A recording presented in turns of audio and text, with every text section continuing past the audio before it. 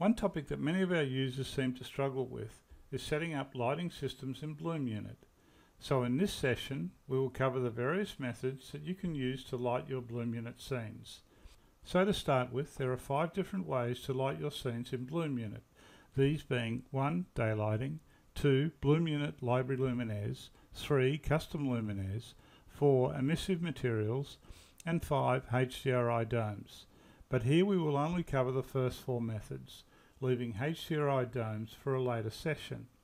We start here with a family room scene already lit with daylighting, which is our first option and is entirely controlled by SketchUp Shadow Settings dialog as shown here, where we can interactively change the time of day or month of the year. So here we adjust the time of day to 4 pm and watch the Bloom Unit viewport update accordingly.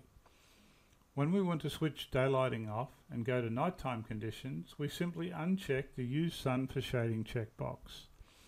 Now for option 2, we need to open up the Bloom Unit Luminaire Manager and select light fittings from one of our real-world manufacturers listed there. Here we will select our first luminaire from the Concord Sylvania range, a 27 watt LED impact downlight and simply drag and drop this unit onto our ceiling in our SketchUp model and view the corresponding lighting change in our Bloom Unit viewport.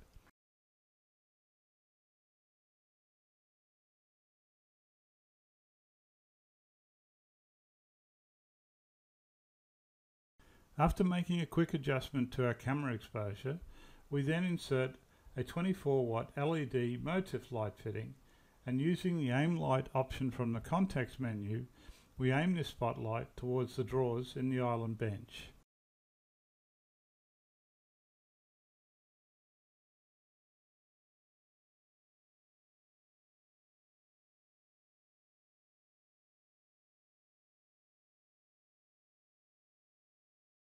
Though the limitations of using these library luminaires is firstly, the available range of light fittings is currently quite small, and secondly, none of their lighting parameters can be edited or changed.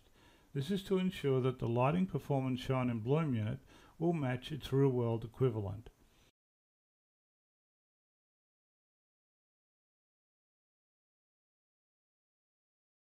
So this brings us to option 3, creating and using custom luminaires, which can be a very straightforward process, especially if you are happy to use the default settings.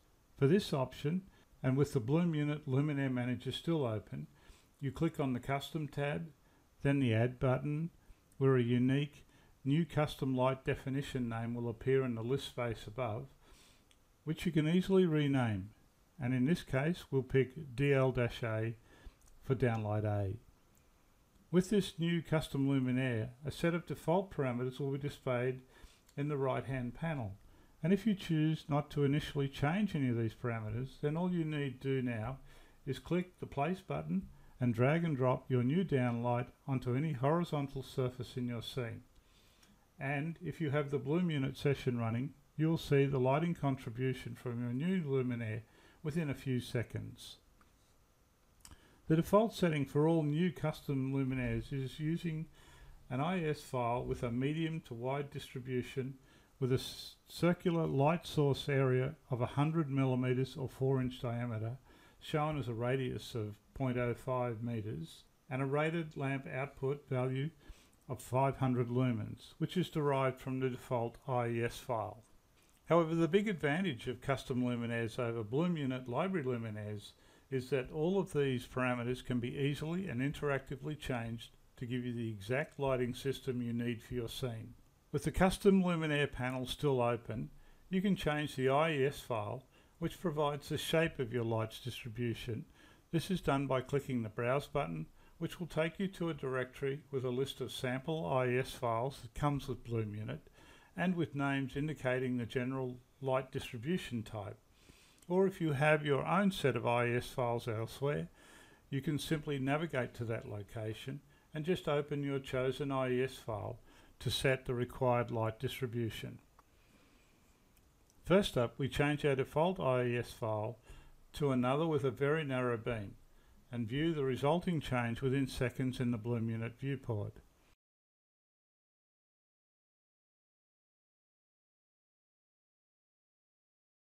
Next we change to a wide beam distribution.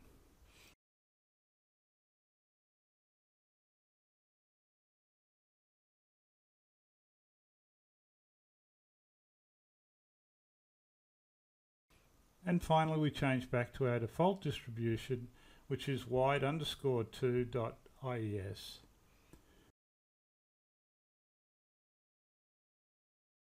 Using the drop down arrow on the area light type, you have a choice of light source shapes which are none for a point source, disk, which is the current setting, rectangle and sphere. And depending on which one you select, the appropriate dimension controls will then appear. Here we will select the source shape as rectangle and change the size to 0.3 meters by 1 meter and again view the change to our light source shape and size in both the SketchUp and Bloom Unit viewports. It is worth noting each dimension control is displayed as both a slide and a value entry box. The slide control offers a limited range of value, but the entry box will let you insert any value. If you need the light contribution from your custom luminaire, but want to hide the light source itself at the same time, then you can check the Hide Source checkbox, though this is not common practice. Now if you click the Output tab at the bottom of the center panel, you will find firstly the option to change the light source color temperature, with the most common values being 3000K or 4000K. Here we change the source color from 3000 to 4000K. And you should see the light color change to match the other luminaires in the scene, which are also 4000K. But some care should be taken in changing these values, as the camera white balance setting may also need to be adjusted to more accurately display the results, which is controlled with the AWB or Auto White Balance drop-down menu along the top of the Bloom Unit viewport. Then we have the lamp lumen or lamp output setting, which is initially set from the data listed in the chosen IES file, which in this case is 500 lumens, but can be easily changed to any value to suit your requirements. So here we change this lamp output value to 5000 lumens and again make an adjustment to the camera exposure setting. And to further demonstrate the seamless flexibility of our new lighting system, here we create a copy of our edited custom luminaire and view the result. Then we delete these instances from our scene in preparation for demonstrating our fourth Bloom Unit lighting option, light emitting materials. Light emitting materials is a very flexible and useful lighting option, particularly if you do not want to bother with the complication of IES files, light source settings, color temperatures, or white balance adjustments that come with using library or custom luminaires. For this option, we first need to create our emissive material by opening the Bloom Unit Material Manager as shown here. Click on the Custom tab, then press the Add button to immediately create a new custom material entry and as with the custom luminaire process, we can easily rename this new material. Here we call LEM underscore 1. Next we click on the Emission tab listed in the center section and enter any starting lumen output value. 100 is a good number. And we have now created our first emissive material.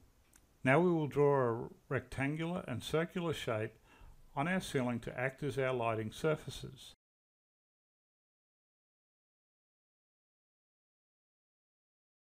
Then we simply paint these shapes with our new light emissive material and watch for the result. One issue that may arise is that depending in which direction the shapes were drawn, it is possible for the light to be emitted from the back surface and not be seen. This is easily remedied by checking the opposite face in the direction section of the emission dialog panel as shown here.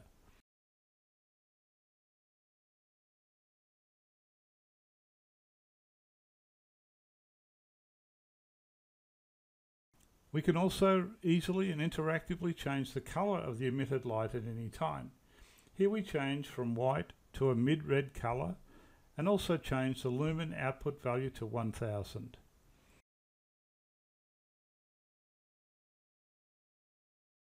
Next we change the light color to a full red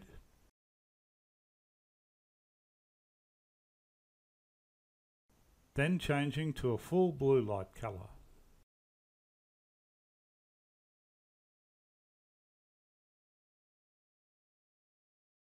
And now we paint a whole wall section with our blue emissive material, which certainly creates a very dramatic effect.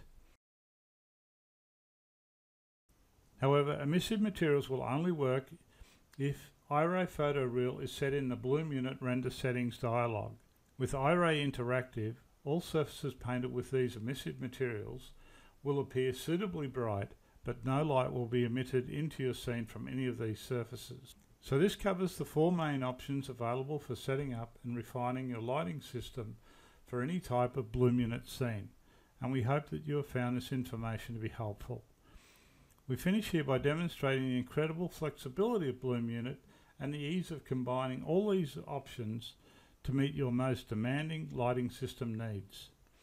If you have any questions at all or need any further information, please do not hesitate to contact our team using the links below.